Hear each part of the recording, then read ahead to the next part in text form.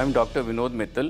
I'm a senior consultant diabetologist at Delhi Heart and Lung Institute and heading the Department of Center for Diabetes and Metabolic Diseases, New Delhi. I'm also director of Delhi Diabetes Care Center.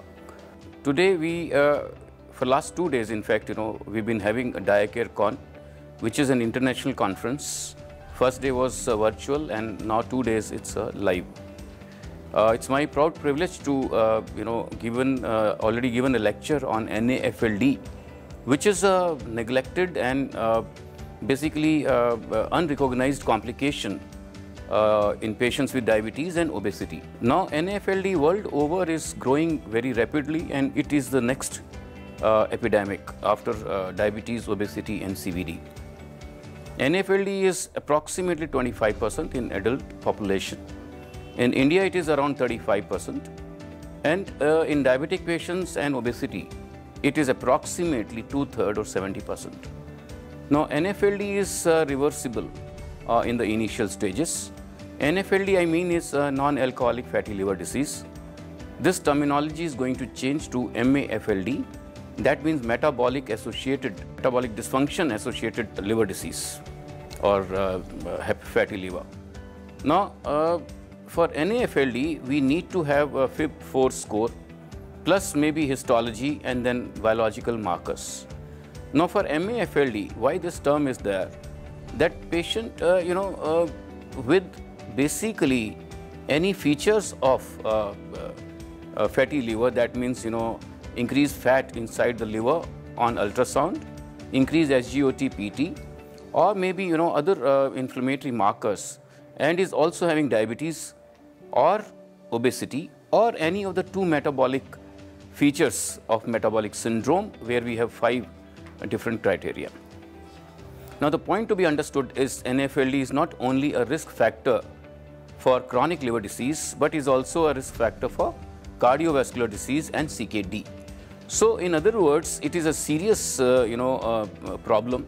It should not be taken lightly and the patients who have NAFLD should always be advised to lose weight, lifestyle modifications, and if they have diabetes, then maybe pioglitazone, metformin, SGLT2 inhibitors, GLP-1 or even DPP-4 inhibitors. And if they do not have any other problem besides NAFLD, then only lifestyle modifications. Uh, studies are there with vitamin E as well as uh, say other, uh, you know, say saroglitazar, which is a dual PPAR alpha and gamma agonist and it has been approved by DCGI but not by FDA.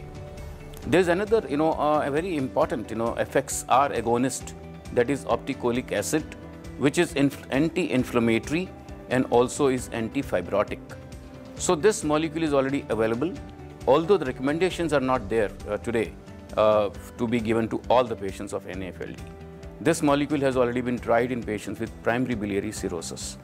So overall, what I want to convey that NAFLD is very common. It is uh, there even in patients who do not have obesity. So there, uh, basically, you know, one has to lose uh, still weight, especially, you know, insulin resistance has to be tackled uh, with lifestyle measures and maybe some uh, agents if required. And then uh, patients who have diabetes, then I've already mentioned, there are molecules. Research is already going on. Although Obeticholic acid, saroglitazar are the agents which are, uh, you know, uh, can be given today.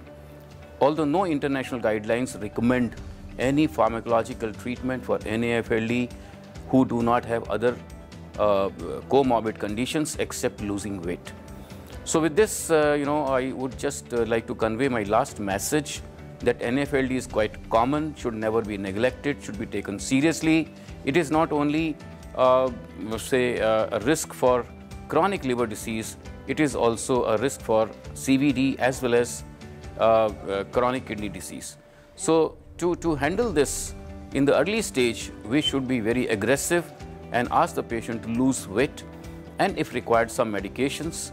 And if patient has other uh, cardiovascular risk factors like hypertension, diabetes, obesity, dyslipidemia, all these have to be tackled simultaneously to reduce the risk of chronic uh, liver disease, CVD and CKD.